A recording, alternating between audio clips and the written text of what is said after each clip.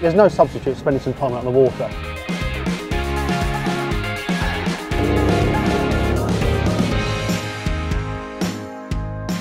All you have to do with that, see it's got some beads in there, that also help to cast it.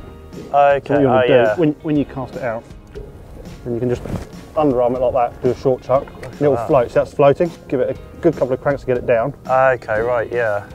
and then just bring it back. It's swimming now? Nice.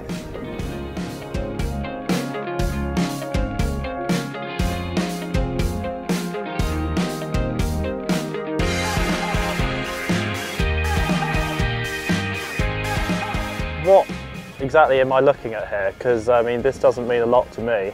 You've got a really good feature, it's the the quick access fish ID button that's here. You press that, for somebody like, like you, it's a bit of a novice with fish Yeah. finders, you press that button, you'll see as it just scrolls through now it comes clear, it clears all Oh, the clutter out of the water and you can clearly see where the fish are and where the bottom is.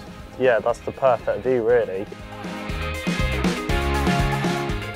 before and then with the Yeah, fish ID turned on you can clearly see the weed on the bottom see where the fish are Yeah, no, that is really clear.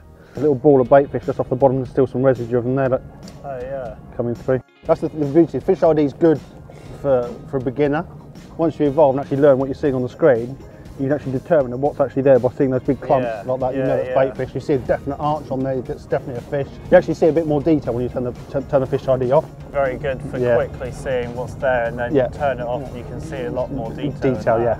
And then you just get to learn what's what really, I guess.